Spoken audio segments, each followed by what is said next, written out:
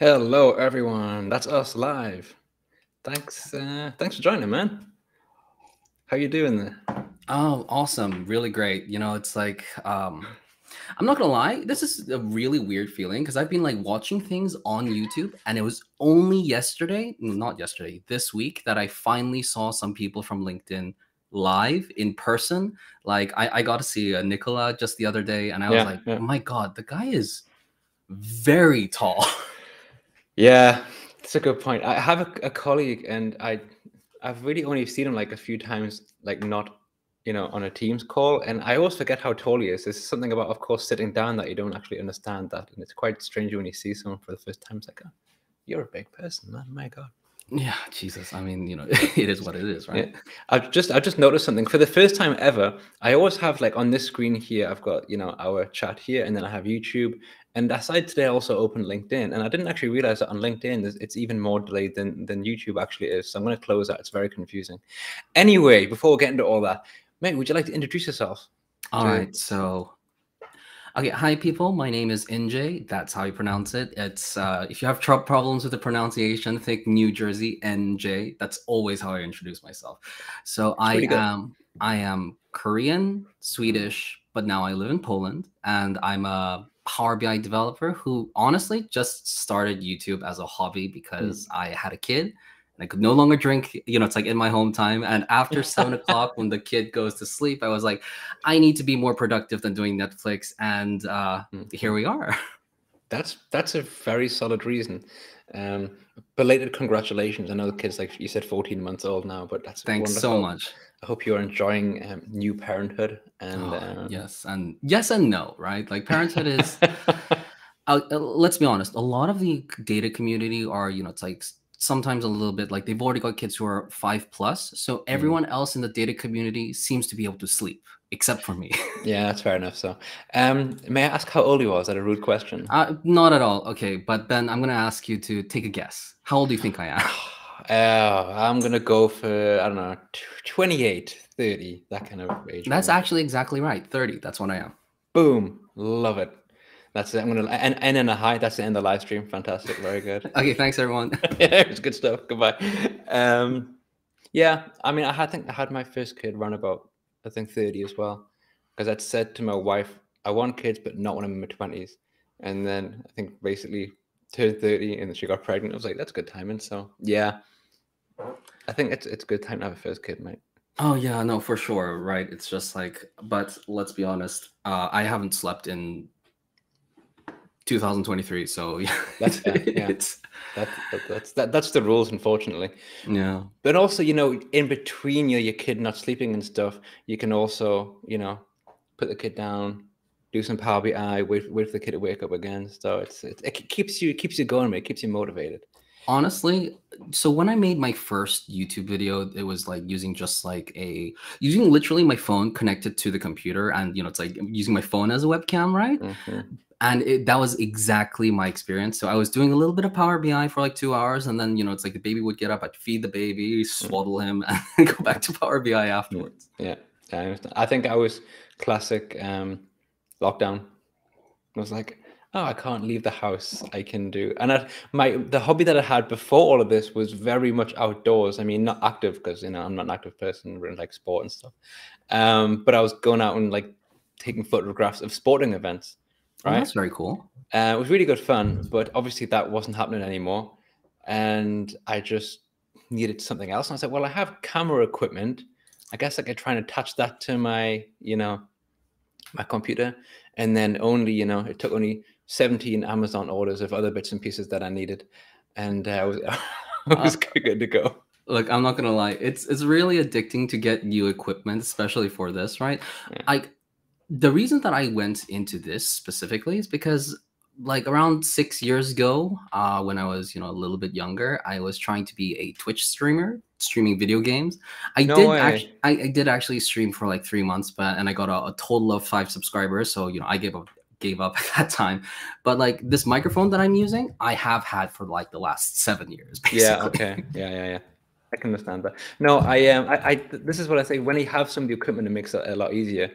Um, but yes, it's uh, when you have it lying around and you've got nothing to do, it's, it's a nice place to get started. But regarding you, your Power BI stuff and, and your channel, what's your what's your favorite type of content or what's your favorite sort of stuff to work on in Power BI? I'm to link your channel in the chat, by the way, so people can go check it out. I mean, you know, it's like I'm not gonna lie. Um, a lot of the content that you know it's like i'm putting out is basically just trying to game the you know it's like social media algorithm. Like that's probably my favorite part of you know it's like producing content because yeah okay. I, like linkedin is a game and youtube is a game because uh, there are actions that you do on linkedin like the way that you post the way that you interact with people and commenting that are multipliers and subtractors mm. to your reach so literally everything is a game. Like a year ago, polls would go out to literally hundreds of thousands of people and it would get the most uh, you know it's like reach but you know it's like now it's like carousels gifts uh, you know it's like uh, six months ago one minute videos did amazing and now they're like so so the rules of the game constantly change and no one knows mm. the rules and I, I love that it's it's right up my alley you know what that gives you such an amazing leg up because and i'm jealous that you you're interested in that because i just do not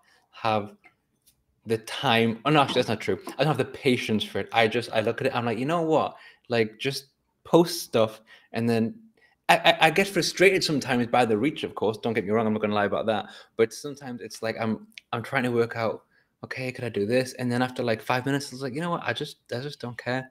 I'm going to post it and see what happens. But eh, obviously, it makes a difference because I mean, I see your post. Like, I think the classic example was for this live stream where you posted something that was like notification, notification, notification, and I posted something that was like, yeah, well, yeah, something like that. I was like, how do you, how do you do that? it's mad.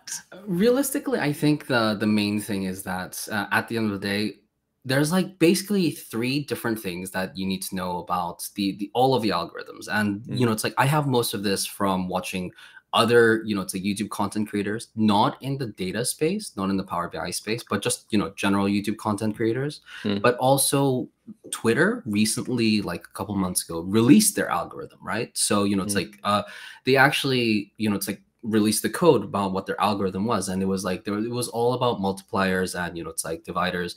But if you kind of aggregated where all of that logic was coming from all of the social media one only wants to do two things right? Which is have content on their platform which engages people to stay on the platform. Mm-hmm. and the other thing is you know it's like actually have the content be something that people will go to continue using to other content. You know the classic yeah. idea of doom scrolling on TikTok or something, and you're just like, yeah. so so that's why TikTok is uh, you know it's like such a good, uh, successful you know um, mm-hmm. social media platform because people will just stay on it for hours because the content is. Uh, like popcorn. So that's how it is for LinkedIn and YouTube as well. As long as content is, uh, you know, makes people stay on LinkedIn, then mm. you know it's like it, it, gets more reach and things like that. I think for a while the biggest multiplier on Twitter was being Elon Musk. I think that was really was really up there, you know. Um, that helped, I think. Oh so. yeah, like, I, and now he owns it, right? And you know what a world it is now. What, what what an amazing place! It's a fantastic. All you need is a few billion, and then and then you see. That's all you need. Forget all the, all the, all these these rules and all the aggregators and multipliers. Just have billions and billions of dollars, and then you're sorted. Really, you know what I'm saying? So there you uh, go. Yeah. Uh, hey, look. You know what? When I have billions of billions of dollar dollars, I'll let you know what it's like. Sounds good. It's like billions, and I'm going to spend it all on SEO manager. There you go. Uh, oh, I mean, you know, it's like uh, who who knows what's going on in that guy's mind. I don't want to know. It's too terrifying. Um, but how was your you, anyway? Back to this event you were talking about before, where you saw um the people for the first okay, time. Yeah, what, which, so, what was this?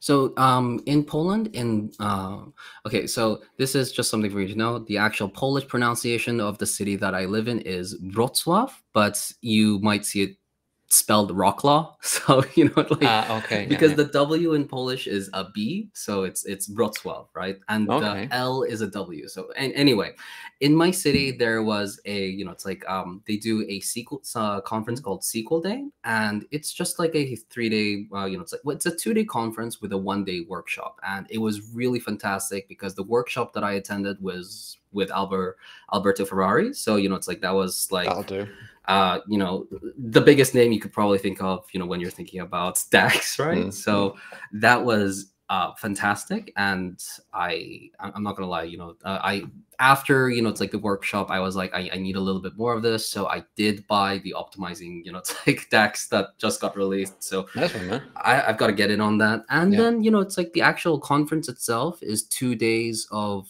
um, you know, it's like lots of different speakers, a lot of Microsoft MVPs. I got to talk to a lot of people that, you know, just seen Johan, which who you had like, you know, it's like very recently as well. Yep. You know, it's I, I saw him live. You know, he's got a really fantastic beard in person, and you know, it's worth the money just to see the fantastic beard, right? Oh yeah, honestly, I was like, you know, is it is it glued? It it, it, it must be. It, it's really really. Just you up know, and just like try prominent. and pull it off, you know.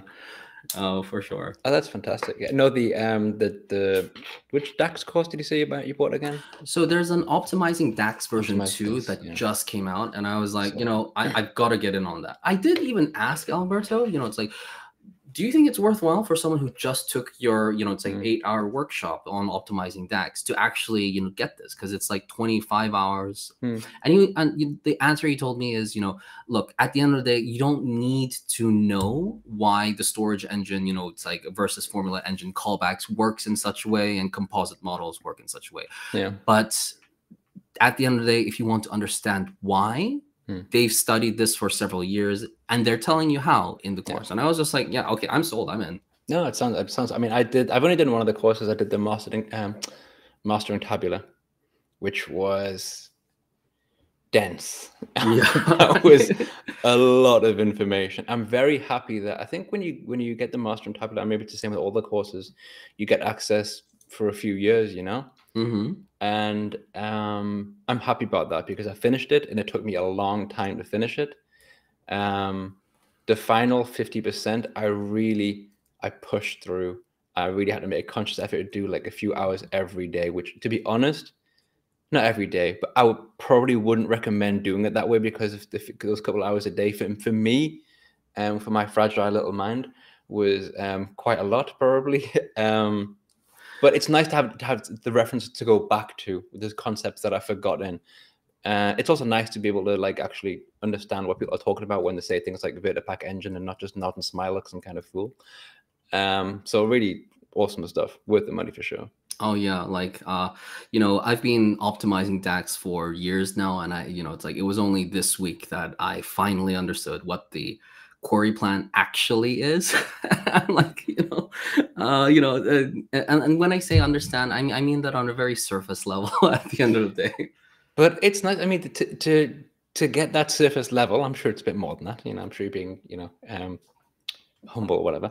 Um, then to talk to someone about it, and then to understand what you're saying, which helps you kind of share information or learn more when you read other articles. You know, to get that ground level of information that when you look at other, like for example, quite often before I re- I'll be reading a um, a blog post or an article from um, SQL BI and I have to, you know, read something else to kind of understand understand what they've written, you know. So to be able to go through an entire article without having to do that was a huge win, in in my, in my opinion. So Oh, absolutely. Like I actually think that, you know, it's like uh Mike said this in, you know, it's like his uh podcast that, you know, the whole point of going to like a an in-person training is that, you know, it's like this kind of time that it would take you to go through several hun- you know it's like 100 different uh, blog posts to to pull them all together and then actually get the answer that you need Mm. as compared to one person just feeding it to you That- it makes a huge difference yeah, absolutely. No, it's good. Um, so there you go. We do. We, we we'll, we'll put a link in somewhere. Maybe if I get time to do so.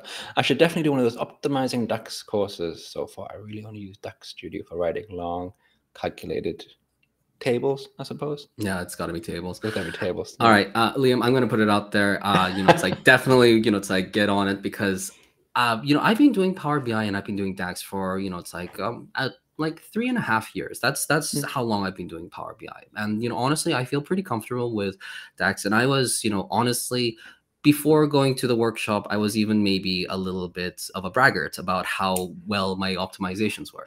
And then I went and I actually, you know, it's like listened to Alberto speak, and now I realized that I was just a frog in a well, and uh, callbacks are really important. no, it's cool. Take yourself to that next level all the time and get stuff done. What were you doing um, before Power BI? You said it was like three and a half years ago. What was? Oh yeah, so you know, it's like um, I've been doing so so I I started basically you know it's like work in C++ and Okay. then you know it's like um and then I met uh, you know it's like so I was living in, you know, it's like the UK doing university, and then I went to Korea to, you know, it's like be closer to my family for a Mhm. little bit of a little bit of time. And you know, it's like in Korea, I was doing C and after doing C++, I met uh, a girl, and we moved to Poland. And because I was a Swedish citizen, uh, well, I still am, because I'm a Swedish citizen, Mm. I needed to find a job in Poland to stay in Poland to, you know, to like be with my girlfriend at the time Mm, okay. and so I was like, I honestly before I came to Poland from Korea, I applied to like 150 different jobs, and you know, it's like no one wants to hire someone who's not in the country. So it's like I wasn't Mm. getting any callbacks. So I just made the jump. I caught a plane, uh, landed here, took the second job that gave me an offer because I was like, you know, I'm tired of looking. I'll just Yeah, take yeah. anything. And that job just happened to be a market data analyst. So I was doing snow Mm. tickets, Excel, and I got a chance to learn VBA and automate basically 50% of my job. Okay. And and, tha- and that was that that was Yeah. like the, you know, it's like the the springboard that, you know, Mm. landed me a job into doing SQL. You know, it's like uh, so ETL Mhm. processes Yeah, yeah. and stuff. But then and then you know, it's like a month into the job, they were like, okay, so we got some Power BI licenses. Who wants to learn Power BI? And you know, I just Cool. started, so I was basically on the bench, right? And I was like, Mm. yeah, okay, I, I don't, I'm not doing anything. I, I'll do it. And now, a couple years later, Power BI. That's all I do. That's awesome. I like that a lot. I love it when the situations are basically having you have a job and a lot of the job is sucks, so you want to automate it, and that's where it starts. You know, I think there are quite a few career paths that kind of start there and kind of fork off in another direction because of the need to do something better. You know. Oh yeah, absolutely.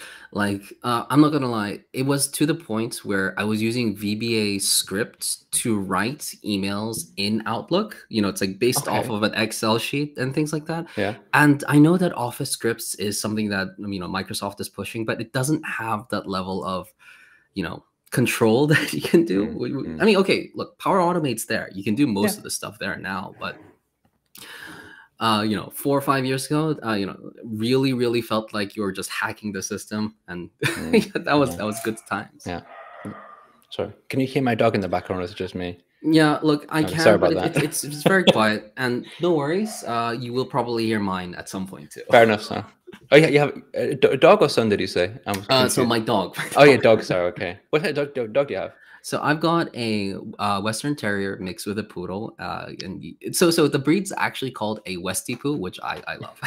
Like- Yeah, any breed that's mixed with a poodle is good because it has the word poo in there, and it's just. I'm sorry. I know it's very immature, but it is quite funny at the same time. I mean, like, okay, come on, it is a little bit. What Yeah. breed is yours? Sorry again. What breed is yours? Oh, I have a small like um the little dachshund thing, Mhm. and I also have um a Bernese Mountain Dog. So the the one that you can always hear barking is the little dackel, um, dachshund, dackel in German. Mhm. and um, the one that you can never hear is the Bernese Mountain Dog because they're big and just lie down and ev- they, they bark maybe like twice a day, but it's just like it's very one like deep bark and then they kind of give up and go back. So go so back to you, so you've got like the you know it's like the extremely large and the Mhm. extremely small basically. yeah, we got the small one first, and I was like, you know what, I just I couldn't connect with that dog. There was something about it that I just didn't. I just get did, we just didn't get on with one another, and I was like, is there something wrong with me? Do animals just hate me? I always I grew up with dogs, you know. Um, so I managed to convince my wife to get a second dog, but a big dog, and that one is kind of more like my dog. So it's kind of it's it's we have a balance now between the, the dogs. That's the thing about dogs. That's you know easier than kids. You can say which one is your favorite, right? You can't Oh, do yeah, with, yeah. it with kids. I mean, you know, it's like uh, l- let's be honest here. At the end of the day, uh, you know, it's like when it comes to dogs, it's dogs are a lot easier to handle than kids. You know, you don't have to you don't have to teach dogs more than you know. It's like just potty training, really, right? I mean, That's true. I mean, it, it's nice that with my kids now, I don't have to, have to pick up their poo, but with the dogs, I always will. So there you go. That's that's um, that's one major difference there. But what are you gonna do? What are you no, gonna for sure, for sure. do? Are Hey, you? so, sorry, uh, please. Uh, so Ben, uh, how long have you been doing this? Like, because you know, um, in the Power BI community, you you you talk to like basically everyone, right? But I'm like, you know, when, Uh, so you said this started in uh COVID? I started YouTube stuff, um, basically at the start of, of lockdown. I, I, was already planning to do anyway, to be honest, but um, it just became easier because of because of lockdown, and I just did more. Um, and then I think the live streams started probably about a year after that, because I had a license to for this software that we use, Restream, and I wasn't using it, and I was thinking, what could I do with that? And then I, I just maybe I'll try and you know do a couple of live streams, and it was good fun, and uh, yeah, I just kept. So I think about about maybe a year and a half. No, no, that's not true. I remember now. It was September. It was September, and the first one was with with Kerry Kolosko. Oh, okay, fair enough. It all just suddenly came back to me there, you know.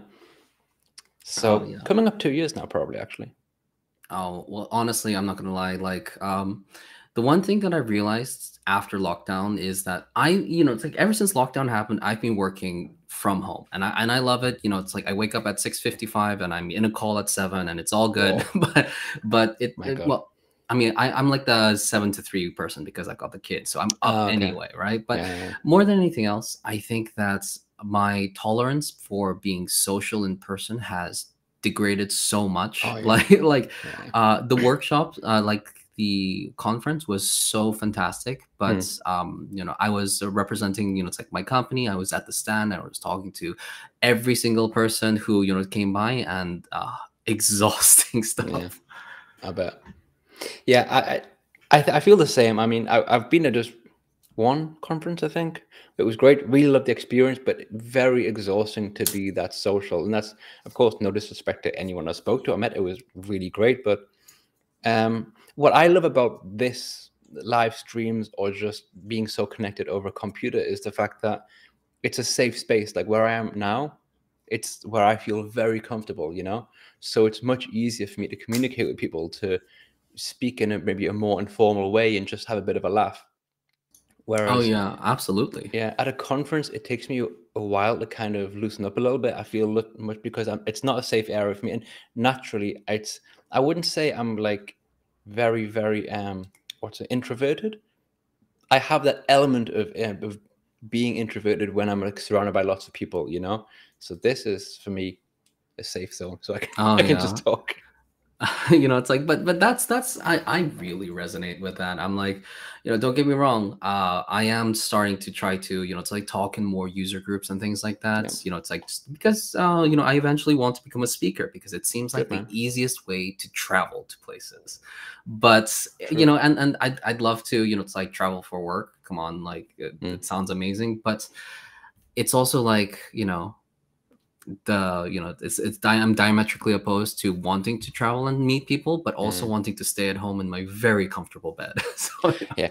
But I think that's also the thing is it's right the fact that you can do a job and you can travel to go to conferences or whatever because you choose to, right? But if it's a necessity, it obviously the, the the dynamic feels so much different. Like I would I would never really want to have a job where I had to go to other places and I had to spend a week here or a few nights there. But if I can choose to go to a conference, that and it's again it's because it's more on your terms. I think it's a it's a nice thing to have. But it's great that you want to do some, some speaking. By the way, I've also tried to step that um step it up in that regard as well. I was trying to do it. I've done a submission to um Power BI Next Step, which I went. Oh, to me last year. too. Oh, nice one, man. Very cool. So maybe we'll see you there. Oh, that'd be fantastic. That would be uh, cool. You know, it's like, hey, can I ask? Uh, you know, it's like if, if you're able to disclose it, what's your what's your topic that you you know? Uh, Oh, Deneb. oh, of course, of course, right? I mean, look, I want I want to do more, but I was thinking that because it'll be like my first one speaking in person, Mhm. just keep it with something that I feel comfortable with. absolutely. no, I I get that very much. Yeah. So um yeah, if they uh, um if they approve it, then that would be cool. Also, I submitted a similar session to something in November in Italy because I was like, that could be a cool place to go to. so exactly as you said, right? Uh, honestly, I'm I'm like you know um, it'd be so nice to go to Copenhagen because Mm. originally I'm from Sweden, right? So I Yeah. lived in Sweden for a very long time, and this my city is Malmo, so it's literally Okay. right next to Copenhagen. So you know, it- it'd be going home, seeing some friends, basically. Very cool. And which what um what did you submit? What was your session? Oh, so um, basically, my session was going to be about uh, design and discovery in Power BI consulting. So I've been a Power BI consultant for uh, you know it's like a little while, and you know discovery is something that everyone does and everyone Mm. has to do. And there are some questions that I think are very standard, and and you you want to ask them in every single one, like what's the Mm. purpose, who are the end users, things like that. Mm. But I also wanted to kind of explain, uh, you know, it's like have a discussion maybe in a little bit more detail how the answers to the questions that you ask affect the design of the reports right? There's like a couple of different things like you know there's four different general personas for you know it's like end users. You've got like the c suite you've got you know um, analysts operational and educational reports as well and it's like depending on the user the report changes especially considering the amount of time people will spend on the report depending on who they are will also change and, uh, and you know it, it's things like that and you know like Yes, and uh, I, I thought it was very interesting to you know it's like have a presentation about how consulting works so Mhm. like literally from the beginning of you know it's like when pre-sales starts just to when the you know it's like actual development starts what happens between you know it's Mm. like contacting a client and you know it's like starting development that's basically what my session's about That sounds cool. Very interesting. And what I like about, I mean, because I mean, I think about the this. I mean, I've never been a consultant, right? I've always just been internal. Though I do think a lot of the job that I do is still very much consultancy. I know it's different because it's internal, but there's a huge amount of consultancy internally as well because you're working in different departments and you have your stakeholders. of course yeah that kind of stuff. So yeah, that sounds cool, man. So Uh, yeah, because I was like, uh, look, I'm not gonna lie, I can't compete technically with you know it's like people who've been doing this for like 15 years. So I was like, yeah. let let's put something that I'm very comfortable with, put a Yeah. spin on it, and we'll make it into a session. So That that, that's that's where I'm sense. going. makes perfect sense. And I really, a long time ago, I stopped even trying to even consider this concept of competing with people because it's just I. And this is a, a barrier. I, to be honest, I still have that barrier though.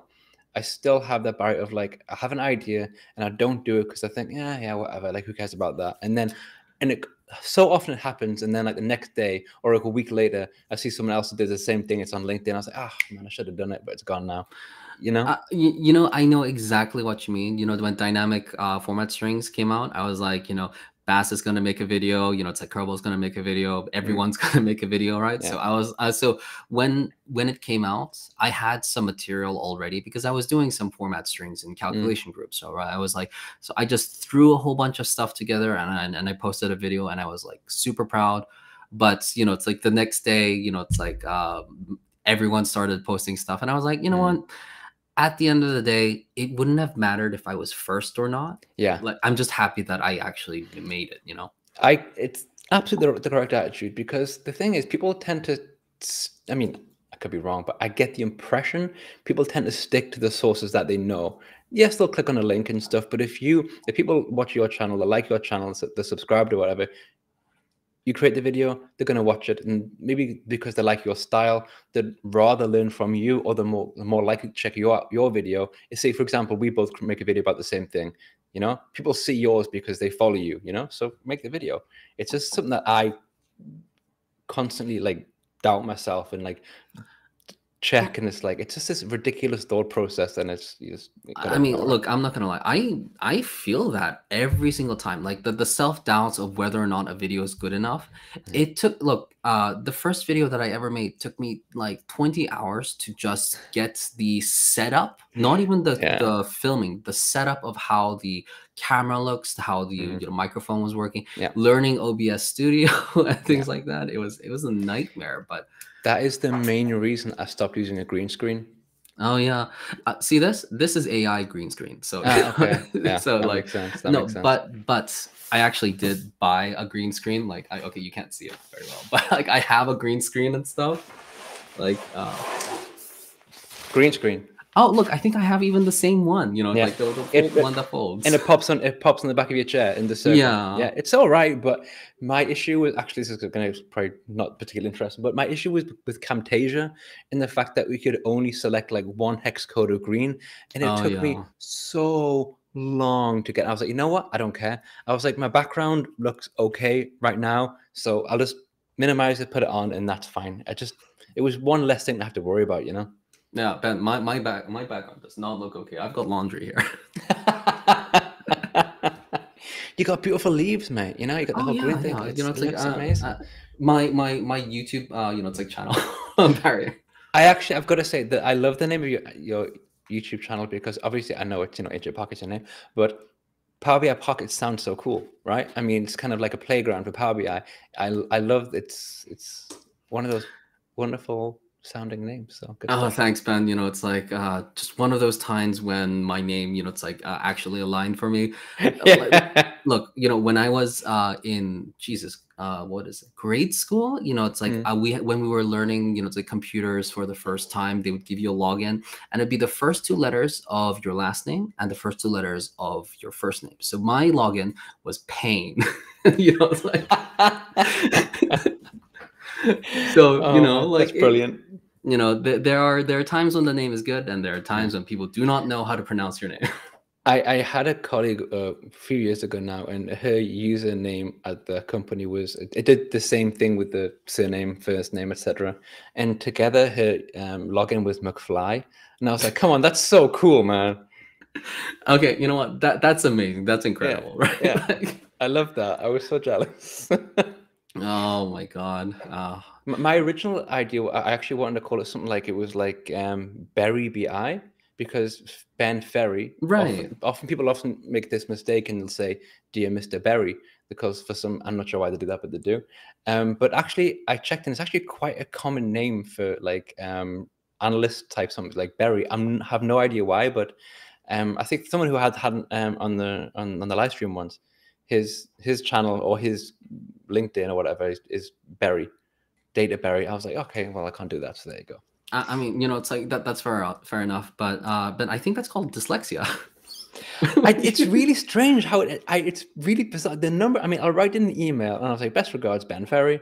And the email come back, dear Mr. Berry. And I'm like, how do you, it's so, it's more, I mean, it's, I know it doesn't sound very often, but it's like, at least, it's like three times a year, at least, which I think is quite a lot for something where you see the name is just Ben. I mean, it's not a big deal. I don't care, but it's just, I've always okay, wondered uh, where uh, it comes okay, from. uh, so uh you know what when it comes to names you know it's like uh, uh, my my my family's you know it's like largely christian so uh, Mm. my you know it's like mother actually wanted to you know it's like baptize me into you know it's like uh a you know kind of christian name and Mhm. the name that she you know it's like suggested to me was francis and i was like it's never gonna happen you know, like, so, so you know it's like i'm sticking with my name forever that makes um, sense. but uh you know it's also like because it's a korean name in my actual you know it's like passport it's two different words it's in space j Uh, which is which is fine you know Mm. like it's just one word you know it's like uh Mm. everywhere else right but Mm. In my you know it's like company uh it, it it has to follow you know it's like the way that it's written you know it's like for my for my legal entities so Mm. teams thinks my name is just in so it could be worse ben it could be worse Oh man, and that could get really confusing if you're like on a, on a phone call with someone and they say like, "What's your name?" It's like, "Is it Indra?" You say, "No, it's just in." Justin? No, it's just in. in, it could get yeah. a whole. It could be a whole thing, you know. It, it, it's absolutely is a whole thing. Yeah. yeah. Um. Anyway, I was thinking. Um. MS Build. What are you hoping for, mate? What's your uh, what's your expectations? Okay, look, I'm not going to lie. Um, MS Build is going to be something that we all have to go to simply because every single MVP that's ever Oh, said anything about it has said that it's going to change the game somehow. It's going and- to change the way you use data. Something that the world has never seen before. Oh yeah, I, Sounds look, like a movie slogan, right? one platform. Yeah. exactly. it was the time of data. I don't know. Uh, but at the end of the day, I did manage to speak to you know it's like a number of MVPs, and you know it's like I was in a lot of sessions. I and I got to speak to some people from Microsoft even, and everyone says that you know things are going to change and uh, you know it's like they can't necessarily say exactly what's going to change but uh, you know at the end of the day I'm, I'm i'm all i can say is that i'm excited i know that uh, you know like people have said this you know it's like very very often like um, Jay, you know the PM from Mm-hmm. Microsoft. Uh, you know, it's like he he's been, you know, it's like he's always said. I think maybe even on with with you. Well, I know he said, you know, it's like uh, in one of the podcasts that the way that Microsoft builds new features for Power BI is what feature would bring more users. You know, like Mm. and that's all about democratization. That's all about making things easier for you know, it's like the common person to use Power BI and Yeah. if you're in the Power BI space, that just means more work. That means your work is extremely stable for the foreseeable future. And I can't, Yeah. you know, like I, I, I can't say no to that, right? That that just means, I mean, my thoughts are this. So I'll, I'll bring up this question um, from Liam in a second. Um, that I know that there was something posted, um, and it's it's it's a it's about three elements coming together, right? Because that's just what this is what's being being clear and um, so this is why I'm going to maybe bring up this thing from from Liam now. Is it just um, Chat GPT and Q Visual and uh, MS Copilot? That's my guess. I think it's more than that. I think it's really I have no idea, right? I obviously have no idea, but it's like three things coming together to do something awesome. Or I, I, don't know what. Uh, my only reservation, and I'm, I'm probably very wrong, is that the last, the one that we had last year, was which was huge, the game changer, and it was like data mart or something, I believe, oh yeah. and it was like, eh, okay, Yeah. I mean, look, Yeah. this, this is true, right? Data marts, you know, at the end of the day, not actually a terrible idea at all. I have seen use cases for it, but it's it's still technically in preview. It's like Yeah. you know you can query SQL directly Mm. into you know it's like the data, which is kind of still in Power Query and, and things like that, and interesting and you know it's like cool Mm. Power you know it's like Power BI data sets based on you know SQL tables, but it's like solving a problem that didn't exist. mm, I'm sorry, it's great. It's, it's really good, but everyone, no, not everyone, but many, many people say I don't have any use cases for it. Right. Yeah. It's like, is Power BI service going to be your data warehouse? You know, it's like that. Yeah, that doesn't. I mean, look, it, it could be that in the future, you know, like that is something that happens, right? And you know, it's like maybe you know we'll be kicking ourselves because maybe that's what Microsoft Build is about. Right? Well, maybe this is the thing because it's maybe there's this integration somehow between whatever Azure or whatever, Right. and maybe that's the direction. It was like a preparation for this huge announcement this year. Um, if I can just expand on my previous point, about was I think the what I once read someone said this is going to change the way people work with data forever, and that person was talking about um, oh, man, what's it called? Am I'm having a complete mental blank here.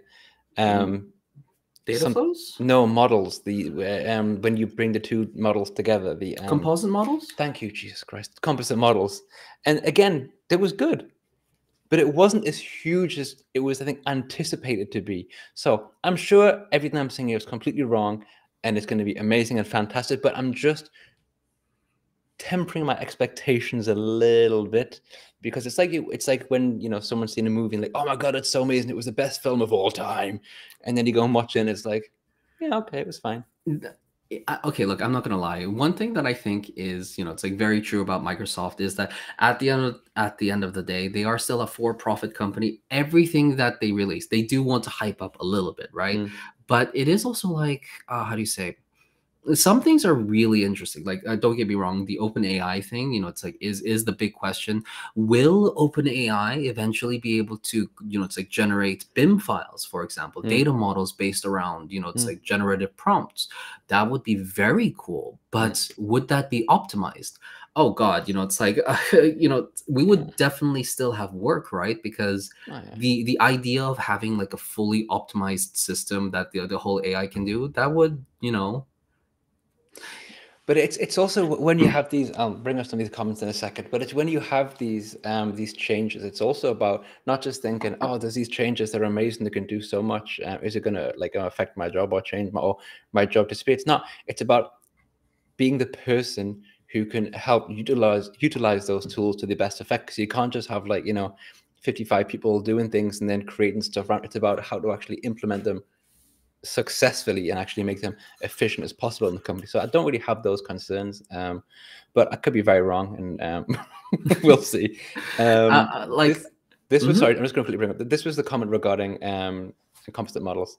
I was watching the video on composite models by SQL BI, and I remember Alberto Ferrari saying that being able to make these in Power BI, um, make these in Power BI was game changing. Um, which was it was it was it was it was good, but I think not as huge as the expect of the average person within the community, such as myself. You know, thinking, oh, it's gonna be amazing. It's like, man, Look, uh, so I attended a one-hour session about optimizing composite models, you know, delivered by Alberto Ferrari in, you know, it's like so yesterday, right? Mm. Two days ago, yes, okay. But uh, uh, all I've got to say is that you know when he was showing things and when when he was talking about how you know small changes in the DAX could make things that, uh, you know, it's like typically is like 1.5 uh, you know it's like uh, 1500 milliseconds into like 10 milliseconds Mm. like there there's a use case for that Yeah. definitely right sure. but it's all about speed right Mm.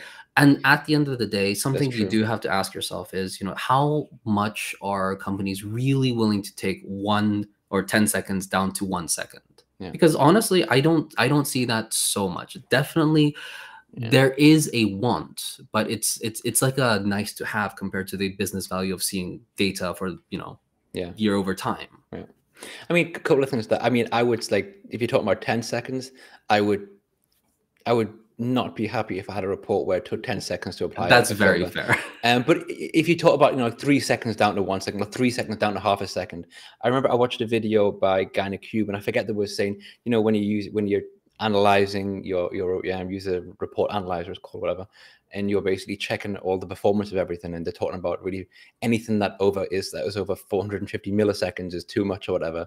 And I was like, all right, that's that's a nice benchmark to know. And I went through all of my stuff and I was like, change that, change that, change that.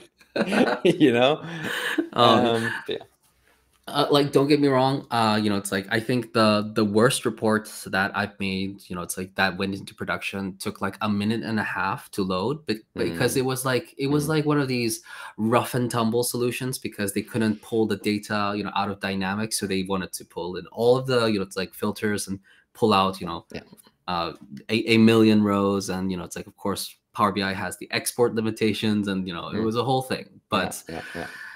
Ah, yeah, like uh, so. So if you're uh, everyone watching, if your report is loading for two minutes, you know it's like definitely the take Ferrari's course. That's what you need to do. I think yeah. If it's two minutes, like maybe have a look at it for sure. Oh man. Um, but sorry, just also Kevin um, saying here that everything goes through the hype cycle. Oh It's yeah, true, that's everything- true. It does. So we we'll just have to, as non MVPs, we'll just have to uh, sit here and wait. Although I, the- I will say, you know, it's like this, right? The host for you know, it's like uh the host for uh, Microsoft Build is definitely you know it's a guy in a cube, right? So that's Microsoft saying something right there, you know. like, It is for sure. That is that's a, it's a very solid point. Right so you that. know it's like and so uh if it was just something small i don't i don't think you know it's like they'd even bother you know it's like having you know it's like the two biggest microsoft power bi names you know, Yeah. it's like doing it right like it must be something for us Yeah. Oh no, no, for sure. I'm a bit disappointed, however, because um, and so MS Build is the 24th, 25th. I'm I'm guessing it's not going to be, but I was hoping that the big announcement would be made on the 24th, because on the 25th I arranged the leaving drinks um, at my current company, so I'm not going to be there. I'm not going to be around the evening of the 25th, so I'll be like. I'll be like outside with my um, with my colleagues, friends, and having some some drinks and eating some burgers, and be be So- thinking at the same MS Build, MS Build. so it'll be like a uh, how do you say you know it's like you'll get home at you know it's like 3 a.m and then you know it's like you'll open linkedin and it'll be 700 posts about yeah, exactly. 700 posts, 350 videos already Yeah. done, you know? Oh, uh, you know, it's like, look, I'm not gonna lie. More than anything else, I I really treasure, you know, it's like this aspect of the LinkedIn community. You don't miss anything that happens because you know like everyone you know it's like uh posts about you know it's like the most important stuff like uh, this thing that happened uh what was it today the the sharepoint thing you know it's like I, Yes, I've, I've seen 20 you. posts about that Good right point. it's like Yeah, that's actually it's it's a good that you brought, brought that up. I completely forgot about that. It looks like it. I mean, I didn't read a lot about it, but please talk about it. 'cause then, you uh no it, it's like um explicit measures we're talking about a little bit earlier today Yeah, and they were just they were just talking about you know it's like how it's really funny because it's a pre-announcement Yeah, I, th- I, So- thought, I thought that as well. It's like, how do you pre? So you announce it or you don't? You know, it's like it's. so so so they've announced it but it's not here yet right but Yeah. it's really funny because microsoft build is less than two weeks away right so you know it's like uh, so, so is this the pre-announcements to the reveals that are coming in microsoft build that's And- what it sounds like because otherwise why would they Yeah, and you have to wonder because they released, they've pre-released um, that that feature, which I think so. Big we're talking about um, basically using and opening um, Microsoft uh, sorry, uh, Power BI files within inside OneDrive, or increasing functionality there.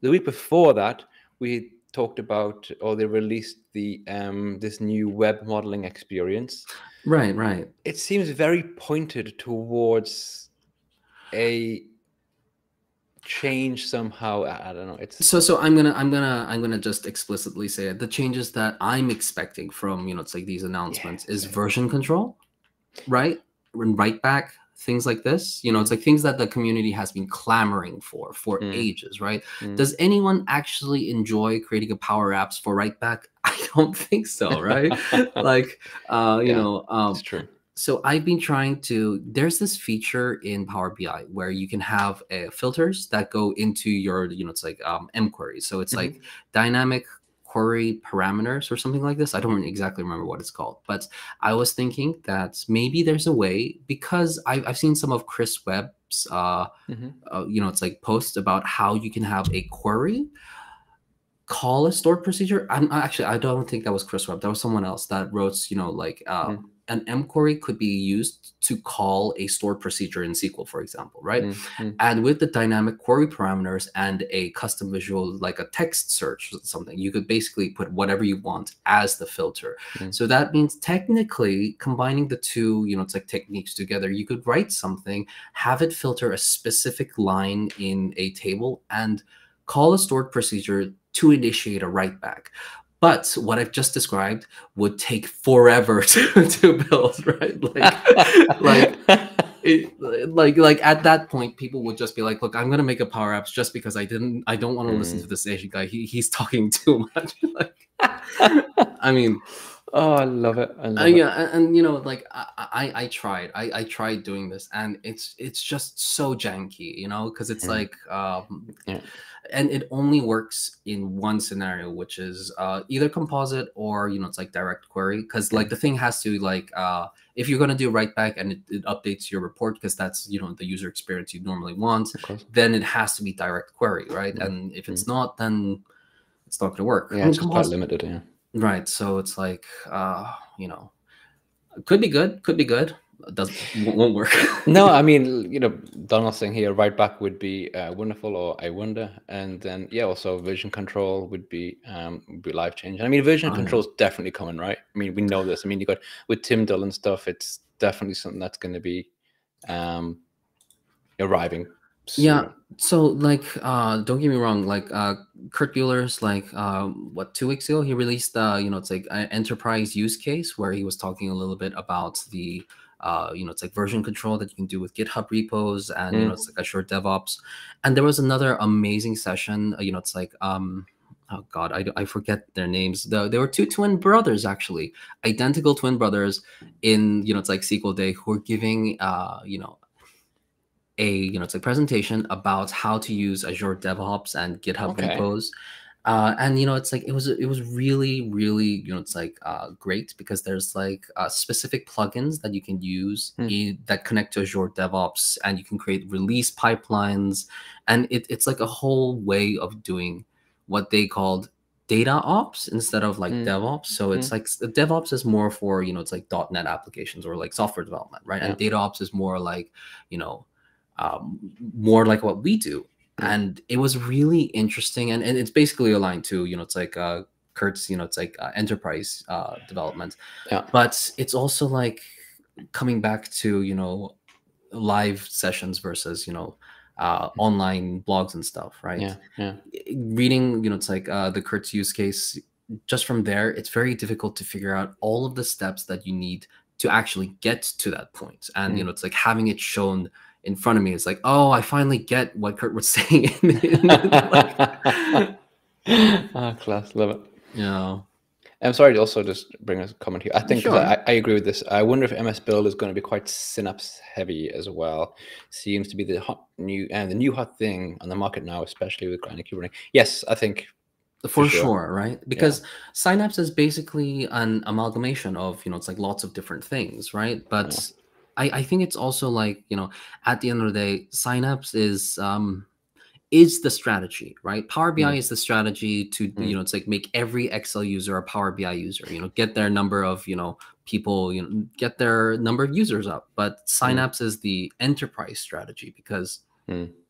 they they'll give you everything they'll give you uh, auto machine learning they'll give you databricks they'll give you you know it's like anything that you could ask for an end-to-end solution Yeah. because and, and it's pretty obvious that this is what they're aiming for because that's what every other company is doing snowflake is trying to become Yeah. a full data provider you know Mm. google's trying to do that so you know it's and microsoft synapse that's that's what it it's going to become right like Yeah. an end to end Uh, we'll see. It'll be, um, I'm sure, basically, as we've said, of all all the hype and all the posts, all the MVPs doing lots of um, marketing.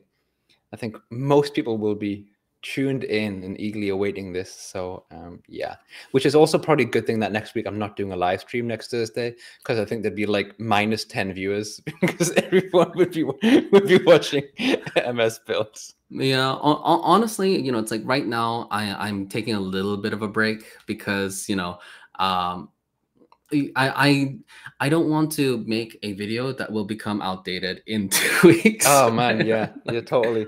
Uh, the, actually the big one for that which was a huge which for me was a, was a huge thing was when they um did the the, the field parameters that was a, Right. that was a video killer because so many people had done stuff like workarounds Oh and God. tricks yeah. and then it was like okay get rid of that get rid of that and all just gone yeah uh, so you know it's like um, I, I have this one you know it's like uh you know it's like file that you know it's like i still keep back you know it's like in my museum folder uh historical archive of things that i built back in the day. And it's like um it's it's actually a report that i made as uh you know it's like a- as a report that i made when applying to my current job right? So so you know it's like as part of that process i was making you know it's like a report and you know it's like to send in. And you know it's like and i was doing dynamic uh you know it's like access changes and stuff like that. So the whole the whole shebang cross join union keep uh, filter treat as Yeah, oh yeah. my god. It was just and i i remember yeah i mean everything that you said is, is absolutely spot on. You, you look back and you think to do now what is just so easy back then the the processes you had to go through i remember the the re- first report I created, I was like, I showed user like, see, see how cool this is. You can't do this in, in any other Power BI report that we have at this company. This is this is the only one you can do it. That report never even made it to production because the stakeholder left the company and it just went the way of the, It the just- Power BI graveyard. yeah like uh All that I mean, effort. it's the same as uh, Excel graveyards, right? This is Mm. like the one thing that's you know, it's like enterprise uh, Power BI still struggles with. I think Oh, yeah. you know, it's like lineage, like making Mm. sure that you know, oh my god, what, what do they call it? The bus risk, right? If, someone gets hit by a bus, you know, it's like Ah, what's the risk? Absolutely. And uh, like I, I feel like it's just uh, that is just the way it is, right? Like yeah, it's the nature of the job for sure. the the simple fact is that Power BI needs to be self-service to get you know it's Mm. like the numbers that Microsoft is looking at you know Yeah. to you know for usage and Yeah. it, that is never going to change. Yeah. So uh, you know it- it's going to be the rise of the Power BI admin soon. I think. Yeah, yeah, good point actually. And this I think is a, a valid comment. I gotta say, uh, yay, big announcements. Don't worry about fixing all the broken shit. um, you know what? I, yeah, I feel the pain there for sure. I mean, they they can't not make big announcements, right? Because it's about you know, improving or getting new customers or getting bringing new people in to have more cases to use the tool and stuff. But as someone who's been using it for quite a while, I would put myself in that category. I've using since 2017. We've seen all these advancements. It's great, but sometimes it's like, but what about all the stuff that just doesn't work, man? It's sometimes just you wish they had like I mean, I think we they they have fewer resources than we we assume that they do, but just like one team, just fixing all. I mean, of course, they have um, Miguel who's doing amazing work with the of course visualization, right? fantastic, great. But the little bits and pieces that affect you every single day, I I, I, I take your um, your point on that comment. So yeah, yeah, you know, I, I'm I'm so you know, it's like there. It's just like, don't get me wrong there are so many things that you know it's like i think could be improved. Like um like liam and donald are making some you know it's like comments about calculation groups and just gonna I, bring it up yeah. Yeah yeah go for it. But it's also like uh you know alberto ferrari and you know it's like uh marco russo have even said that calculation groups if it was just a little bit better you know if some mm. things were just a little bit mm. you know it's like better it would be like a complete product. But they don't consider it a complete product right? And you know they, they've said that you know it's like on youtube on on their courses and stuff. Yeah. and i think that's true. Like i i know the logic behind yes you can't have implicit measures because if you try to put a calculation group filter on an mm. implicit measure it doesn't know what the measure is. Yeah. You know it's like fine. But it's also like um when you create a calculation group it's supposed to speed things up but in reality it slows things down because of implicit measures. That has been my experience in some reports. But why why why would you want to use implicit measures though? Uh, so i'll say this right? Uh, implicit measures is definitely something you'd want to have you know it's like activated for citizen developers because of the whole self-service thing mm. right like uh, i think something that can bring a lot of benefit is having things like uh, you know it's like calculation groups for time intelligence for yeah. given to a citizen uh, you know it's like developer and you you tell them write a formula put this filter on and you've got year over year mm-hmm. percentage month mm-hmm. over month and i think that's fantastic you know it, it really you know it's like uh, gets rid of the need for citizen developers to really understand what time intelligence is and yeah. it's, it's, just a filter yeah. but most people start Power BI with like, uh, you know, it's like the whole drag and drop thing. People are, sure. you know, it's like very not happy with, you know, it's like. But I don't. Tax. I don't think that. I, I I take your point. I don't think the people. So, for example, I create a report. When I create a report, I create it for. It's going to be the. I wouldn't say final product because there's no such thing, but the product that goes out and the users use it and all that kind of stuff. So it wouldn't be then handled by someone who would have those restrictions. Whereas someone who is just, you know, um, doing some ad hoc reporting or they want to quickly just check something, they wouldn't have that restriction anyway because they're they're opening a new PBIX, right? Right. So in that yeah. regard, yeah, I, I agree. And sometimes when I'm quickly checking, I'll be like, yeah, drag, drag, drag, check, done, finished, cool. Um, so if I develop something, I'm happy to use Tabular Editor because I know I'm not going to use any implicit measures. Whereas I don't know. I think I just think a, a user who doesn't use a tabular editor can feel free to, to, do so. My my using tabular editor is not going to affect their job. You know what I'm saying? Does that make that's, sense? That I think that's absolutely true. I really feel like you know, there's pros and cons, honestly I, I i use calculation groups all the time you know it's like uh, i love calculation groups. There's like one calculation group that rui romano you know it's like uh you know it's like showed in one of his mm. a- ancient posts which is like applying the the random function on everything. So you know if you've got some you know uh sensitive data you can apply calculation group on the whole page and it'll make everything randomized which is nice if you if you have a report and you have to show it to someone but you, you can't show it to them and yeah. you know like like That's there are point, actually yeah. there are certain things that are you know it's like fantastic use cases but yeah. it's also like would you actually would i recommend using you know it's like month over month or year over year percentages for you know it's like actual calculation groups which i've even made videos on hmm. in a in a production model probably no you know mm. like it's, it's... I, I, I take your point it's yeah the point being is that it was really sold as something that this is going to save you so much time yeah. and it's yeah i think the reason it doesn't is because it's that classic right you save time in one area, so you do more in, in another area. So actually, you just build in more functionality that and that kind of fills. So basically, you know, you were doing 100% of just measures, right? And now you're doing right 50% measures, 50% other features because you can, because you're using your tabular editor. So um, yeah. and not only that tabular editor if uh, it's, you know some, someone's trying to you know it's like create uh, you know it's like if someone's trying to adopt a report that already exists and they don't have this level of knowledge it's it's a black box right like they'll never find it That's a that's a solid point. Yeah, true. I'm currently going through this now, handing rep- reports over to people, and um, actually, uh, b- before I continue down that train of thought, I'll just bring up Leon's point because I think it's a decent one. For me, it's the trade-off between people in my team that want to get work done no matter what, and don't care about best practice unless it directly affects something. Very valid. Totally understand that. Um, also, absolutely I'm also restri- I don't intentionally do it, but of course, you know, I'm thinking really just about how I've been working at my current employer for the past years. Everyone works differently. There are different, you know, types of teams that work together in different ways. So I fully understand that for sure. And there are many, many um, team situations or shared work situations. And as you just said, Injae, that's a, a classic one. You someone leaves the company or someone hands over a report to someone or and they have no idea about um tabular editor. And then they look at it and like, what the is going on here? Like how how does any how does how is this happening? You know? I think, look, I'm going to sum it up in, you know, it's like um, with maybe a different problem, you know, it's Mm. like specifically.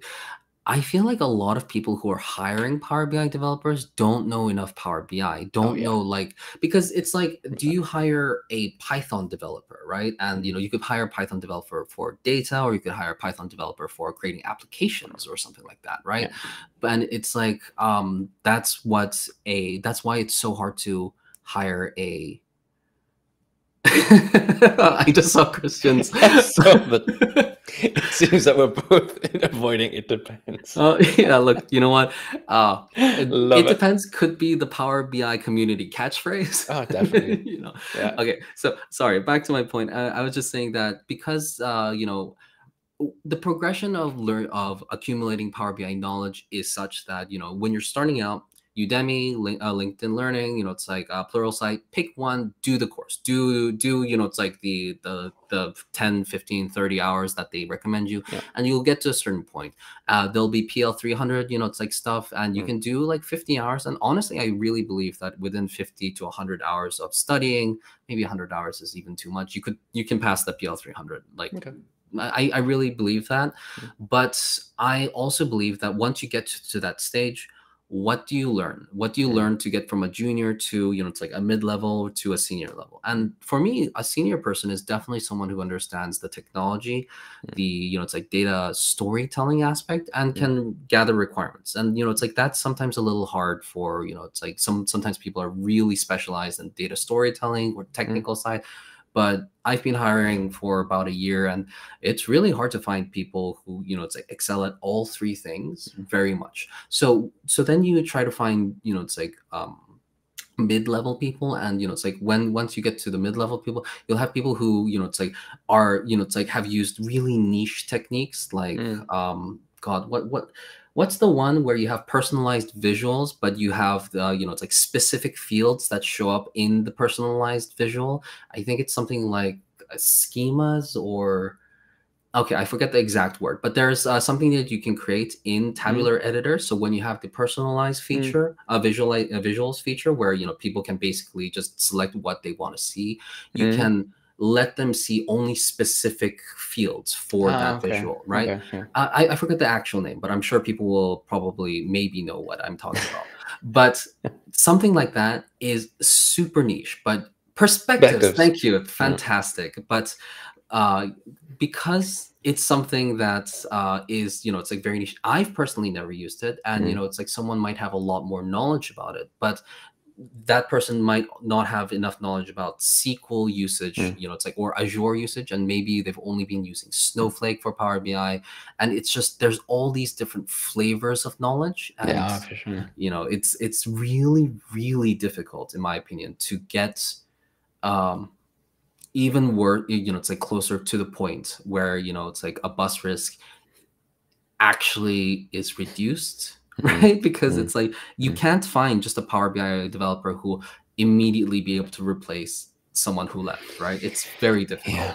I mean, because again, come back to this thing about, you know, how companies use Power BI or, or what they see Power BI to be. If you're, do you see Power BI just as a place where you visualize data? Uh, love it. Um, you know, uh, it, is it just somewhere you visualize data, or is it something where it actually is it part of the, the ETL, or is it part of? There are so many different aspects, but I think, and I think it's getting better. But I think for the most part, from what I've seen, it's just basically about dashboarding. People think of Power BI and think of just dashboarding.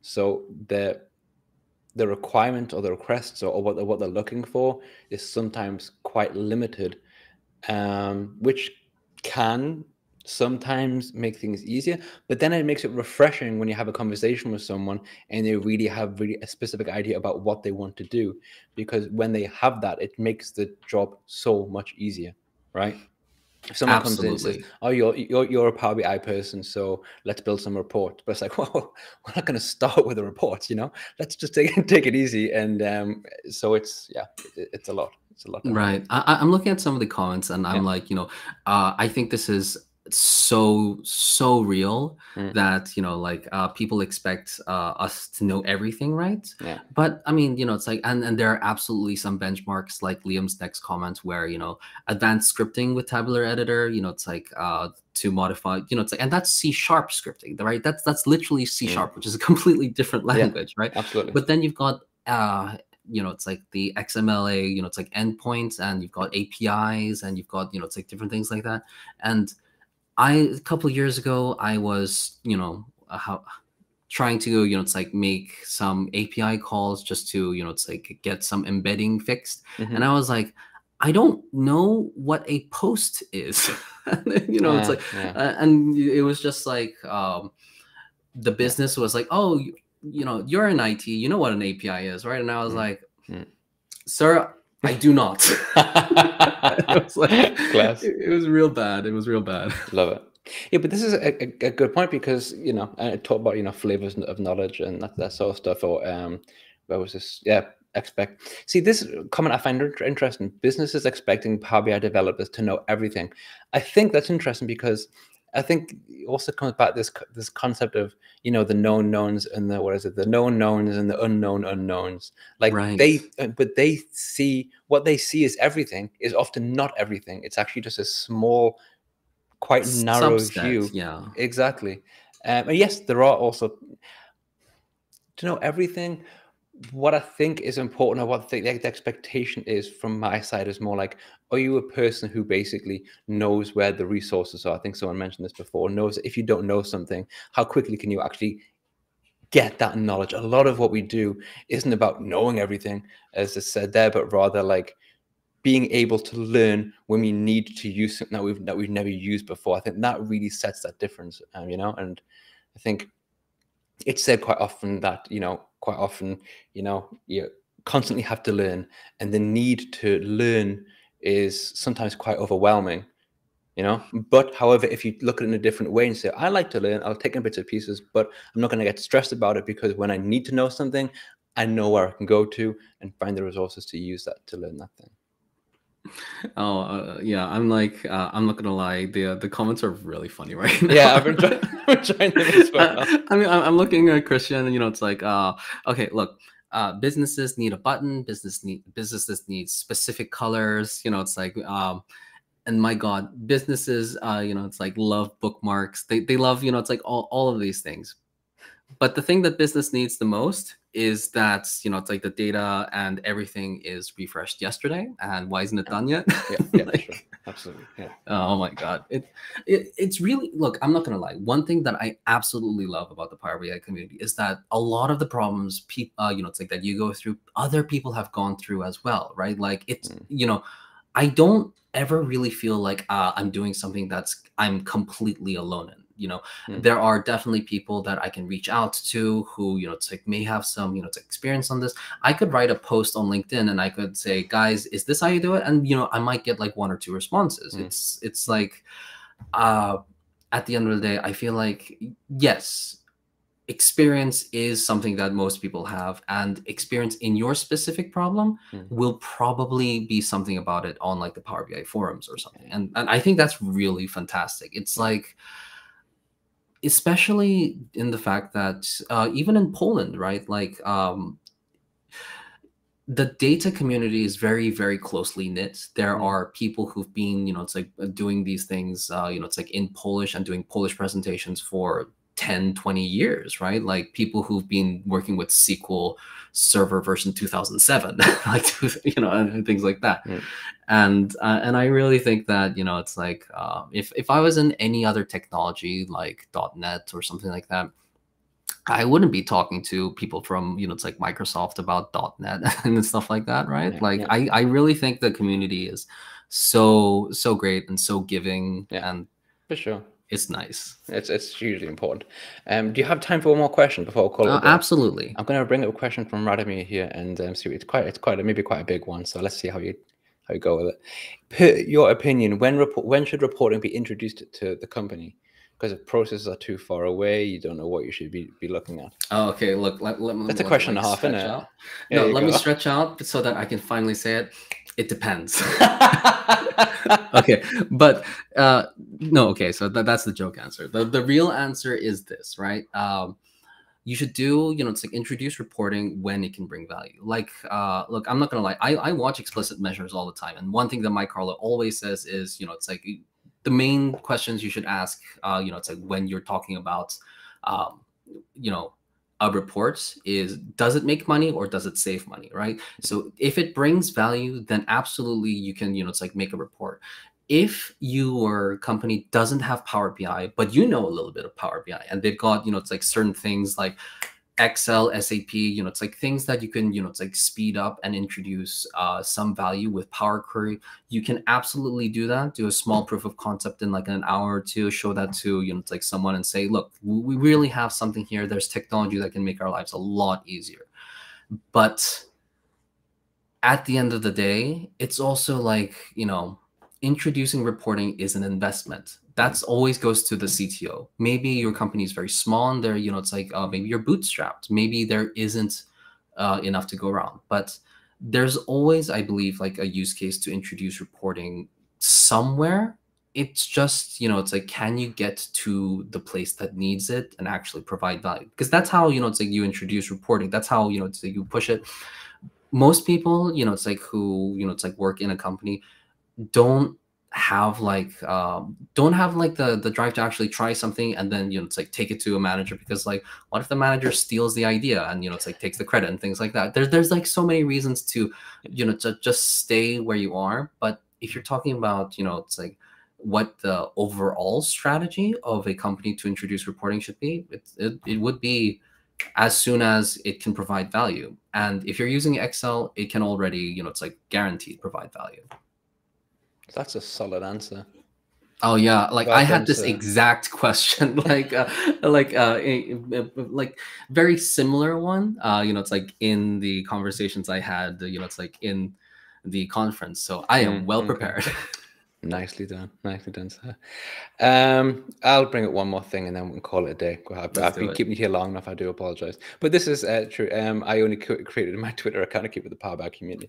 It's true. I mean, that's the only. I used to have Twitter that I use for like social purposes and stuff, but now it's just I created one, my Power BI guy, and um, yeah, it's just to read stuff what's going on, kind of see if there's an article I can look at. Yeah, I occasionally post something stupid. No, it's Um, true. It's like uh, don't get me wrong. I you uh, you know it's like when I was starting my social media journey, I had YouTube, TikTok, LinkedIn, Twitter, Reddit. But now I only use YouTube and LinkedIn because the the other ones take a lot of time. Yeah, I mean, yeah. LinkedIn already takes up a lot of time for me because, uh, but Yeah, but. I enjoy it a lot. Sure. So you know, just just pick a couple that work for you and if you try and do everything it'll just be like just overwhelming get quite boring to be honest it's true. i have to apologize for this comment we're, we're just um can i ask anything about power bi just finishing off mate i do apologize. Maybe the question that you had you can look at some of the previous live streams. Maybe it was in there. It's about there's about 70 of them. So go and watch 70 live streams and maybe you can um you find the answer to your question. Um but yeah everyone thank you very much for joining in with the chat. It was some really cool comments tonight, some great questions, and um, of course, Injae, thank you very much. Hey, everyone, thanks for joining. It's it's actually really great to be part of this community, and you'll see me in the comment section probably. Class, and hopefully we can see each other in person in probably our next step. Right? Hey, hey, fingers crossed. You know, it's like uh, that would be. Hope it happens. Fantastic. Uh, I will back uh, next Thursday. Exactly next Thursday. Um, again, thanks for joining, Injae, and thanks for everyone in the comments. It's Take care, fantastic. everyone. Bye. Have a lovely evening and day, all that kind of stuff. Goodbye.